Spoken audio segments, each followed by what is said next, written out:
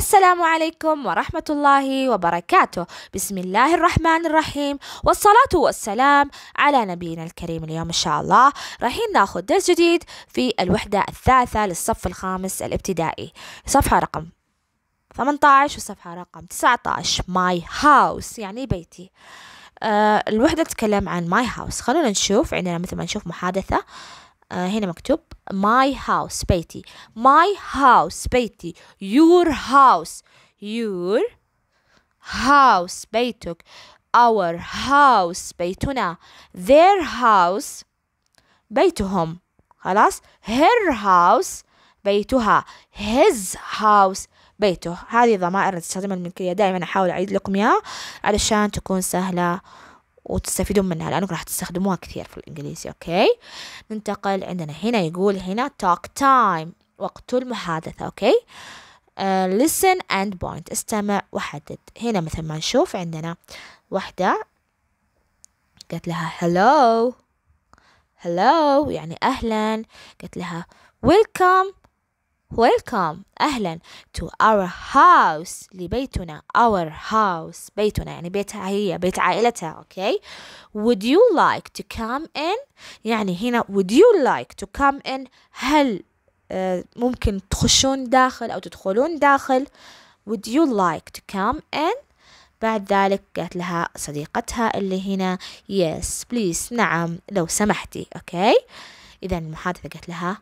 بعد ذلك هنا. دخلتهم داخل البيت قالت لهم I will show you around I will I will هنا L يعني I will I W I double L هذه كلمتين I لوحدها will أنا سوف اختصار لها I apostrophe I apostrophe double L يعني I will I will show you around سوف أريكم كل شيء يعني حوالين البيت around okay show you around. بعدين قالت لهم this is the living room. This is the living room. هذه هي غرفة المعيشة. هذه هي غرفة المعيشة. قالت لهم this is the living room. Living معيشة room. Room معناها غرفة. Living room uh, living لما نغيرها ممكن نخليها bedroom تصير غرفة نوم. وهكذا خلاص. Room يعني غرفة. بعدين قالت لها thanks يعني شكرا خلاص نقرأ المحادثة من جديد hello welcome to our house would you like to come in yes please I will show you around this is the living room thanks هنا number two practice مثل ما نشوف هنا. Number two practice the talks in pair يعني حاول إنك أنت تحاول إنك تقرأ هذه أو تقول هذه المحادثة كأنك تمثلها في بين صديقين. Act out the talks in pairs حاول تمثل المحادثة في صديقين. كأنه أنت عندك بيت بيتك تدعي أصدقائك وتقول له welcome to our house.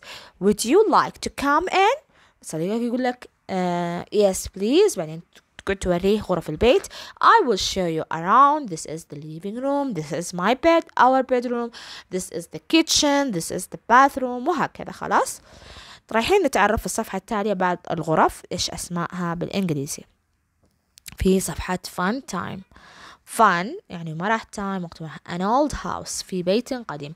Listen استمع and find one thing in each room.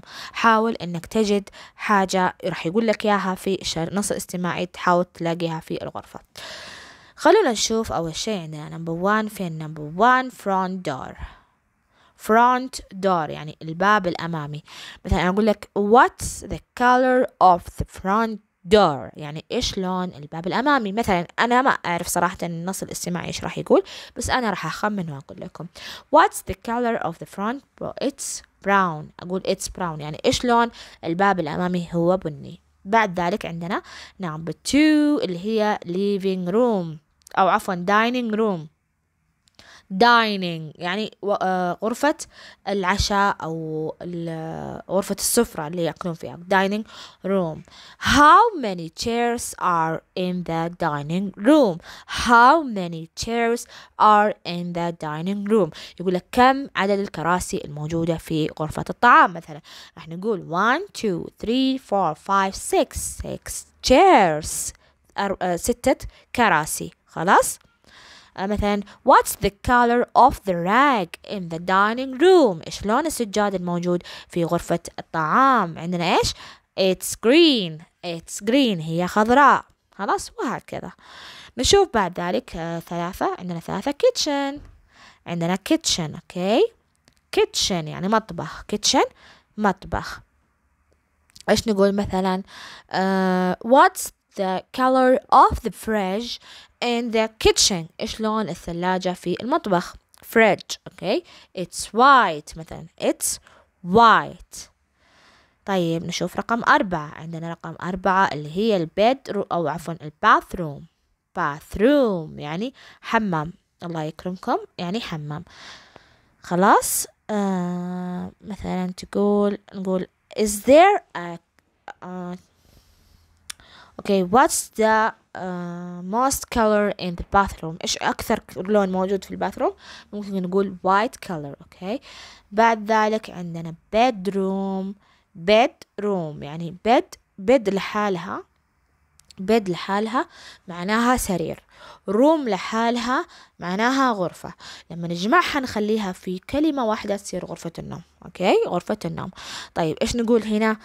Uh, what's the color of the rug uh, rug in the bedroom إيش لون السجاد في غرفة النوم it's red وهكذا وبعد ذلك عندنا number six living room living living room يعني غرفة المعيشة غرفة المعيشة Is there a TV in the living room هل هنالك تلفاز في غرفة المعيشة Yes it it is. Okay? Yes it is. Okay? وهكذا. ممكن الأسئلة تكون مختلفة بس تقريبا هو راح يسألك عن الأشياء الموجودة في الصورة. خلاص؟ إذا عرفنا إنه عندنا front door يعني الباب الأمامي dining room يعني غرفة الطعام kitchen اللي هي المطبخ bathroom اللي هو الحمام bedroom اللي هي غرفة النوم living room اللي هي غرفة الطعام طيب مثلا لما أجي أسأل ممكن how many rooms in this house كم غرفة في هذا there are three rooms ثلاث غرف اللي هي dining room bedroom and living room how many kitchen one kitchen how many bathroom one bathroom تمام بكذا نكون خلصنا الدرس الأول درس بسيط وممتع. أتمنى يا رب أنكم فهمتوه. خلونا نشوف المهارات اللي اكتسبناها من هذا الدرس. I can أنا أستطيع. Act out the talks أني أنا أمثل المحادثة. About showing around the house أني أنا أوري حول المنزل. مثل ما شفنا هذا البيت الصغير وشفنا الأشياء الموجودة فيه. With a partner مع صديق. Show uh, uh, أعرض someone around my house أعرض someone لأحد ما حول منزلي okay؟ كذا نكون عرفنا كيف نقول أسماء الغرف في بالإنجليزية أسم المطبخ أسم الحمام. وعرفنا كيف أني أنا أدعو أحدهم للدخول إلى منزلي وإذا دعاني أحدهم للدخول إلى منزله إيش أرد؟ وإذا وراني الغرف إيش كمان أرد؟ خلاص؟ أتمنى يا رب أن الدرس واضح. إلى بدأنا في الوحدة الثالثة my house الدرس الأول. يا رب أني أنا وصلت لكم معلومة بالطريقة الصحيحة والطريقة آه المفهومة يا رب. إن شاء الله راح ناخذ في فيديو قادم درس جديد آه درس جديد إن شاء الله يكون درس ممتع صفحة عشرين واحد وعشرين. يا رب إن شاء الله آه فهمتوا؟ إذا عندكم أي سؤال أي استفسار بإمكانكم كتابته تحت في التعليقات وإن شاء الله راح أجاوبكم في أقرب فرصة ممكنة. أه حطوا لي لايك تقديرا لتعبي مجهودي عشان يوصل الفيديو لأكبر قدر ممكن من الناس. وأيضا أه إذا اشتركوا في القناة عشان تكبر القناة فيكم وبكم ولما تشتركون فعلوا زر التنبيهات وحطوها على all أو الكل عشان أول ما أنزل فيديو ينزل لكم الإشعار بإني أنا نزلت. إذا عندكم أي اقتراح لهذه القناة لأن هذه قناتكم ولكم وإن شاء الله إني أنا إذا قدرت أطبق الاقتراح راح أحاول إني أنا أسويه عشان تكونوا استفدتوا بأكثر استفادة ممكنة وأقدر إني أنا أوصل إذا حسيت إنه في طريقة أقدر أوصل فيها المعلومة بطريقة أحسن اكتبوا لي كمان تحت في التعليقات يهمني أنا تعليقاتكم وآرائكم عشان أطور من القناة لأن هذه القناة لكم أنتم. إن شاء الله نلتقي في فيديو قادم. إلى ذلك الحين أستودعكم الله الذي لا تضيع ودائعه. والسلام عليكم ورحمة الله وبركاته. باي باي.